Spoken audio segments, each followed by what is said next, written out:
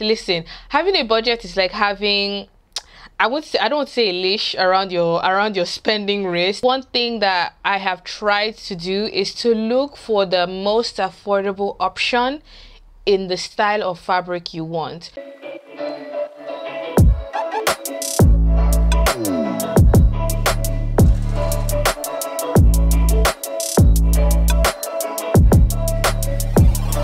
So it is a slightly sunny day, so the sun is going to keep going in and out. I just want to apologize for the color changes that this video is going to have because I can already feel it.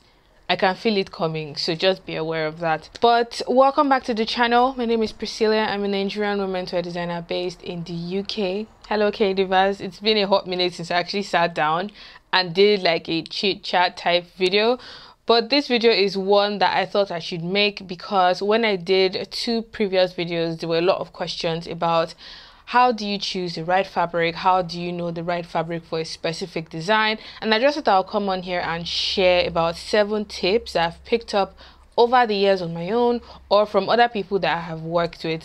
So if you'd like to find out what these tips are make sure to keep on watching. Let's get straight into this video so the first thing I would say you should definitely consider is the season of your customer, of your client, or of yourself if you are the one making the garment for yourself.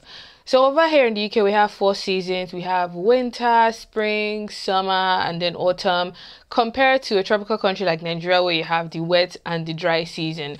So over there in Nigeria, it's it's really warm, relatively warm all year round. So fabrics like wool and cashmere I don't really think they're necessary in terms of like making coats and jackets because you don't really need it because it's not that cold over there. So definitely consider the season if you are a designer who is working on a specific season as well. If you're working on a spring summer collection, there are just some fabrics that you would not just include like really thick heavy fabrics because you're making garments for a warmer season. And if you're making garments for a colder season you would just steer away from fabrics that are really thin light and would not keep your wearer warm. So season is really really important and i think is really on top of the list because it almost dictates the type of fabric that you pick straight off the box so the second factor that you should consider is the country and this goes sort of goes hand in hand with the season. If you are a designer based in a tropical country, which means the weather is relatively warm all year round, sis, like your life is so beautiful the weather is so nice you just have to you know work with your cottons your silks your chiffons and you can be very playful with print and pattern because I've noticed people just like to wear more color when the sun is out. I can't really explain the psychological effect or the reasoning behind it, but that's what I've seen even here in the UK and back home in Nigeria. People just gravitate towards like brighter prints, lighter fabrics when the weather is warm. So consider the country you're in, or if you're a designer who's based in a tropical country, but your customer is based in a temperate country or country with like four seasons, then you have sort of the freedom to have both light and thick fabrics in your collection because you know your customer is both local and international. The third factor is budget. So I would say before you walk into any fabric shop, go on any fabric website. Listen, having a budget is like having I would say I don't say a leash around your around your spending wrist, but it just really guides you like a whole lot. Because what could end up happening if you don't have a budget is you would see this really nice fabric and it might cost 50 pounds a meter, but because you've not really priced your garment or done your costing sheet so you don't really know how much you're working with at the end of the day you might end up spending a lot more money on fabrics that you actually need to do and the moment your cost of production is high the price of your garment is going to be high. And not all customers are very willing to you know part way with 500 pounds for a blouse. So just keep that in mind when you're shopping fabrics. I would say one thing that i have tried to do is to look for the most affordable option in the style of fabric you want. So a good example is silk. Everybody loves silk. Everybody wants to wear silk, but everybody would not be willing to pay for a silk blouse.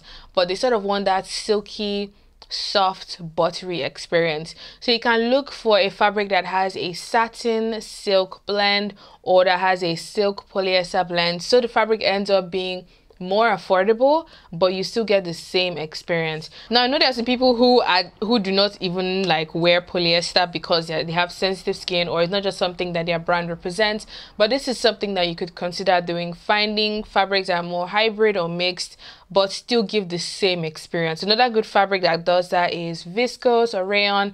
They feel nice and soft on the skin, but they are not as expensive as the totally natural counterparts such as like silks and and the rest. So just sort of keep that in mind when you're like, looking around. If you find the silk that you like, try also to scope the shop or scope the website to see if they have something really really similar but just a little bit more affordable. Now, moving on to the next factor, I would say the style or the silhouette of your garments really, really dictates the type of fabric you pick. So sometimes what people do is actually they go find the fabrics and then come back and design afterwards because they already know what the fabrics feel like, what they press like, how they stitch like. So that is another way that you could consider working with fabrics. You can scout your fabrics first choose your colors, choose your prints, and then go back and do your sketches. It's actually totally okay to do that. I remember when I was working on one of the blouses for my first collection, the sleeves were actually meant to be a puff sleeve. I remember that was like the Ejiro blouse. The sleeves was actually meant to be puff on top and then skinny on the bottom. But by the time I was done designing my fabric, designing my prints, the print did not look nice on stiff fabric. So the colors will come out right. So the fabric that actually had the colors looking the most vivid and the most sharp were more silky fabric. So i had to change the sleeves of that blouse so the fabric and the design they actually work well together. So i ended up making it a balloon sleeve that sort of came down wide towards the bottom and then had like a fitted cuff there. So just be flexible. Don't it's not the end of the world if you have to change switch up a design. Just have fun with the whole creative process but just know that you can actually pick your fabrics first before designing. All right so moving on to the next factor i would say considering your client's needs is actually very important. If you are doing sort of like bespoke custom made to order. If your client has sensitive skin, if your client does not like see-through clothes, if your client does not like big prints, if your client does not like stripes, those are things that you should actually ask during your consultation. So when you're going to find the fabrics, you just have that at the back of your mind that okay, I know she's sensitive to wool or wool makes her itchy, but she wants a suit. I need to find a fabric that behaves like wool but doesn't have wool in the fibers. So all those little things just keep in mind. I kid you not, there was a lady who actually wanted a pair of tailored trousers and she did not want wool. And I was like, sis, why are you just giving Mission, Mission Impossible 7? But it actually worked out in the end. I found a really nice sort of like cotton blend that felt really nice and stable and we were able to get the trousers done for her.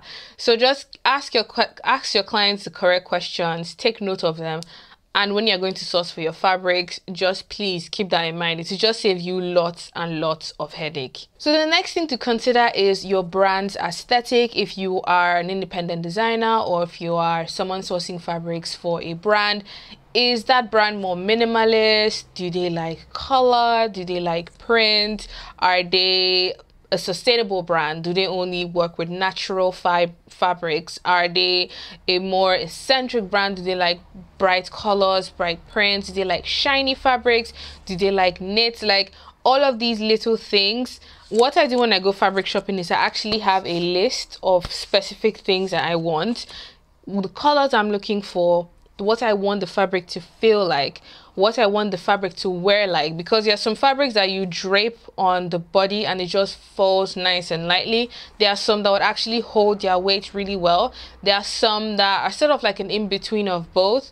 So when I'm actually looking because it can be so overwhelming. You just walk you just walk into a fabric shop and it's like, oh my god, I'm just looking for a white cotton. Why are there like two million white cotton fabrics? Like I just want one. But by the time you start touching the fabrics, because you know exactly what you're looking for in terms of the feel, in terms of the fiber content, in terms of how it folds, how does it wrinkle, all those little things it would really really make shopping for fabrics a lot easier when i was shopping for my brand fabrics i shopped both online and in store so with the online shopping i actually ordered samples first I don't just buy fabrics like that, too, especially online. I'll order fabrics first. If I haven't shopped from the fabric store before, I'll order like a small sample, either like a small square or half a meter.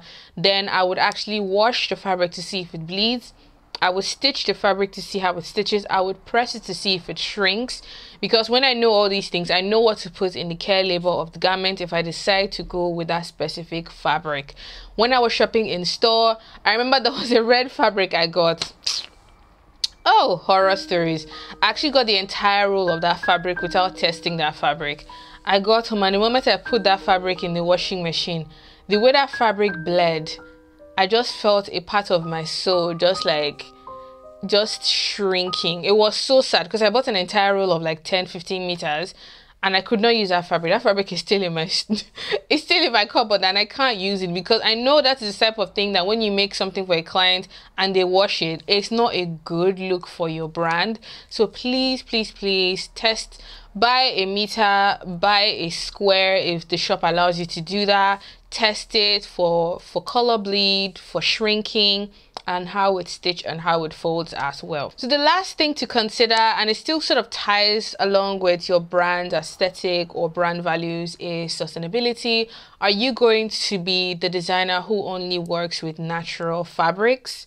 Are you going to make a conscious effort to look for fibers that are sort of a mixture of natural and synthetic or like man-made so you're not exactly buying totally synthetic are you going to be a brand who makes a conscious effort to buy exactly the amount of fabric that you need because I have been there. You'll just be like, mm, I know the tops only need two meters of each, but let me just buy five meters extra just in case, which is a good thing. But what then ends up happening if you don't make those tops is you have a lot of fabric with you that if you don't use, you just end up either throwing away or they just sit in your cupboard for a very, very long time. So buying the exact amount of fabric you need, considering the fiber content of your fabric is really important as well. Or if you want to be one who encourages your your consumers to actually you know use their garments for as long as possible or if they don't need it they should send it back to you and then you can do upcycling projects which i've actually been enjoying a whole lot. Thank you guys so much for i think my patchwork dress has gotten over 20,000 views in about a week, which is actually insane. So I know you guys actually enjoy these upcycling projects as well. I just find them so therapeutic to do, very useful to inform you as well on the importance of sustainability and reducing the amount of waste that you generate yourself because it starts with me, it starts with you, it starts with all of us at Fashion Creatives. So those are all of the tips I covered in this video. I went through the season, the country, budget. I'm sort of looking down because I have them written down here. The season, the country, your price, the style and silhouette of your garments, your client's needs, your brand aesthetic, as well as sustainability. But if there are any tips that you feel that I should have covered, please, please, please share them down in the comment section down below because I would actually love to know and someone might find it just as useful. If you enjoyed this video, please give it a thumbs up so I know I need to keep making, you know, more informative and useful videos like this in combination with my tutorials. And until my next video, have a good morning, afternoon, and evening wherever you are. Bye!